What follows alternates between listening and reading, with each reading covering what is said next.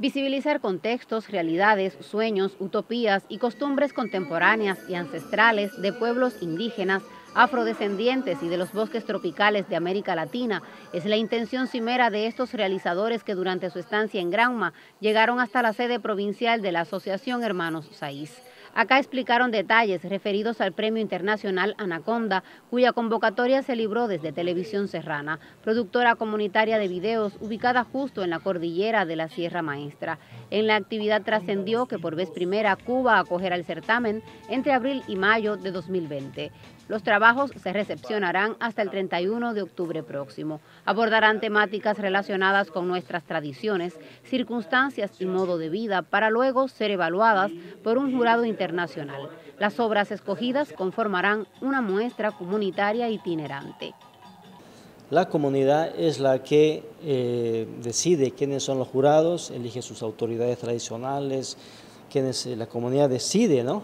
y ellos junto a las comunidades ven los materiales, califican los materiales, hacen, su acta de jurado y deciden los premios. Se podrá concursar en categorías diversas como cortos, videoclip, documental, ficción, series, largometrajes, entre otros géneros de la realización audiovisual. Los interesados podrán inscribir sus trabajos vía online a la siguiente dirección www.premioanaconda.org y otras páginas de instituciones auspiciadoras del premio. La televisión cubana también habilitará una opción en su portal web.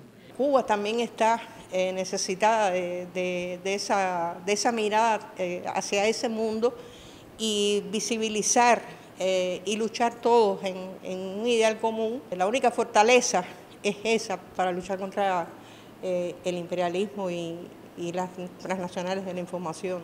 Roberto Carlos García, presidente de la Asociación Hermanos Saiz, en nombre de quienes integran esa organización en la provincia, agradeció la deferencia de los visitantes, en tanto les acercaba a las diferentes acciones e iniciativas realizadas por los jóvenes creadores del arte audiovisual en el territorio.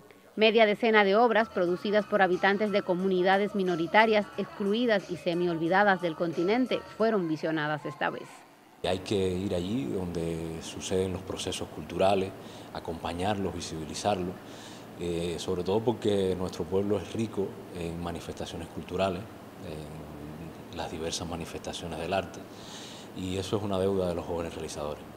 Sin dudas, Anaconda pone su empeño en consolidar un cine más autóctono, que represente a los habitantes originarios de nuestra región desde una mirada propia que destaque esencias, cultura, imaginarios, entornos y esperanzas. En Gran Maya, Kelly Pérez, Noticiero Cultural.